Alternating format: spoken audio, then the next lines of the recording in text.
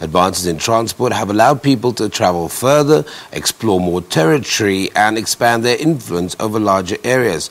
The James Hall Museum Transport, uh, or the James Hall Transport Museum, is one that has kept all vintage cars and allows people in to view and learn more about the history of transportation. And of course, it's free of charge. Let's take a look at this.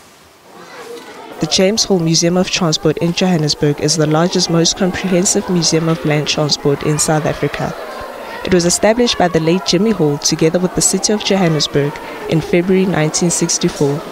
The museum gives visitors a rare glimpse of transport history dating back more than a century ago. The gallery hosts a number of public events during the year and have a few lined up for Transport Month this October. We have a project that we'll be doing with Sci-Bono.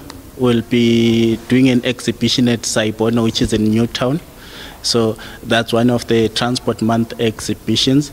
And also, we'll be taking our mobile uh, museum education bus to uh, the Sci-Bono area to, you know, teach about uh, transport and also road safety. At the James Hall Museum of Transport, generations of youngsters can see many ways their grandparents and great grandparents got around the city and the country all those years ago.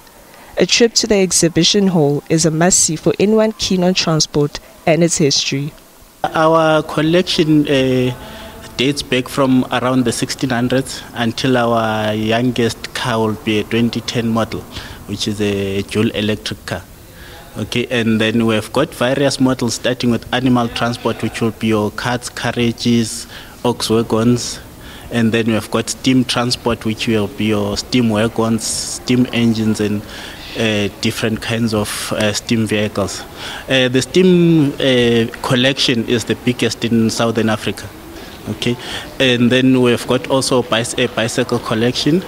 We've got a, a fire engine collection we've got you know uh, public transport vehicles and that sort of thing. Peter honored his father's legacy by collecting and persevering vintage cars. The museum houses a collection of over 2,500 items and is the largest of its kind in South Africa. Most of the cars on display are donations and contributions from people. Most of our collection is from donations. Even from the beginning, there is a call which came from Jimmy Hall himself, and then the rest was donations until what we have here today, which is close to about two, three thousand. Uh, transport uh, transport uh, related items, not just uh, the vehicles themselves.